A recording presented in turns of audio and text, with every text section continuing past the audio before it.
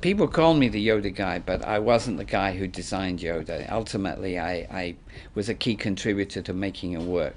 Uh, but there was a team of us that were involved in doing that, and they, the the most important of the team was my boss, Stuart Freeborn. Stuart had built the apes for 2001: A Space Odyssey. I knew he was going to get all the best jobs, and nobody knew who I was. So uh, I stalked him for a couple of years until such time as I managed to persuade him that he should let me carry his bag.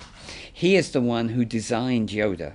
So he uh, he there, were, there, but there were all kinds of illustrations that came before that, uh, and some of those illustrations you'll see have absolutely no relevance to the Yoda that finally came out. So um, there was a, a lady from the Muppets, Wendy, who was a key, also a key contributor.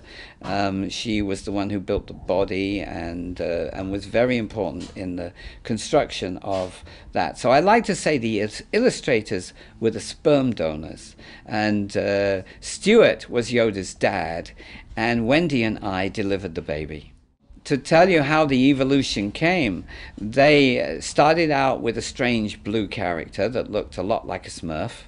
Uh, they went from there into a wrinkled, rather smarmy, Chinesey looking character uh, that then uh, evolved uh, a little further. My boss sculpted that character, um, but no one really liked it when they saw it in 3D. And so the sculpting kept going. And so Yoda evolved over a four month period where they just kept on resculpting and changing and resculpting and changing. Eventually, they added the white hair and the smiling eyes and the big upper lip of Albert Einstein and filled in the lumps and bumps with my boss's own face. And uh, to be honest, it looked so much like him when we finished, we couldn't understand why we didn't just stick the ears on and paint him green. Um, when I got involved, I was first involved in making the molds and the skins and overseeing the skulls. And I thought that was all we were going to do because I thought we were only making one Yoda. Uh, but then they wanted a walking Yoda, and so I devised a, a, system to make an enlarged Yoda that we could put on a midget because it was quicker than building animatronic legs. Um, and then they needed a radio controlled version, and I worked with the radio control uh, techs that were building little robots running around. I did the finishing, they built the, the mechanism.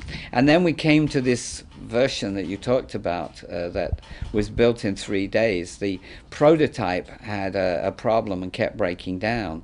And so, having worked on the, other, the, the second and the third versions, the producer came to me and asked me if I could uh, build a, a backup for it, something that at least had some movement that would allow them to shoot on it while they were working on the prototype. Uh, and being a, I, I say to people, you when an opportunity comes, uh, there's a point where you have to leap for it and make the most of it. You can always, you're always taking a risk. There's always a chance you're just going to fall on your face. But if you don't take that leap, then you guarantee you're never going to get to go anywhere. And so I, I, I just I just went for it. And instead of building something that had a little movement, I tried to build something that had all the movements that they could possibly want. And um, myself and one of the trainees um, worked day and night for three days. We put in 60 hours in three days and built the puppet that you see standing in the forest. And this one is built in exactly the same way. It has all the same movements. Um, you're seeing it standing there like a doll, but when a puppeteer's arm goes inside, you get the neck movement, the mouth movement, and the eyebrow movement. With the cable controls that are behind me, we've got uh, ear movement and eye movement and eyelid movement.